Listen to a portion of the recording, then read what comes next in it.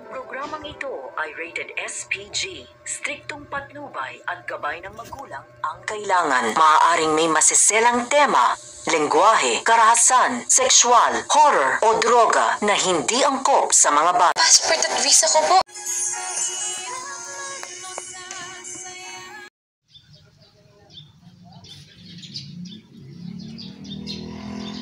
Sa wakas, dumating na talaga ang passport at visa ni Annalyn Santos. Ayan, hinatid ni Doc ah, Carlos sa kanya ngayon-ngayon lang.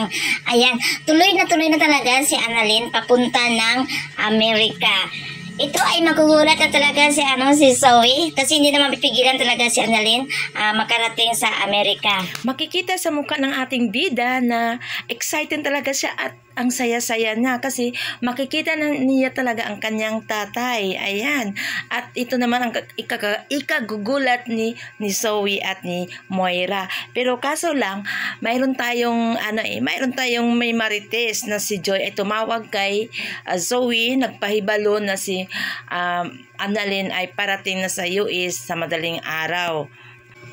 Pero wala na sila magagawa kay kasi tuloy na tuloy na talaga si ano si Annalyn. Ayan. At excited na rin si Annalyn makikita kung sino si Harry. Ayan, tingnan natin at pagtunghayan natin mamaya ang episode na ab- sa abot kamay na pangarap. Kaya guys, huwag kayong kukurap. Ayan, mamaya na ito. At excited na tayo kasi matutuloy na talaga si Annalyn. Abangan na ninyo ito guys. Babu!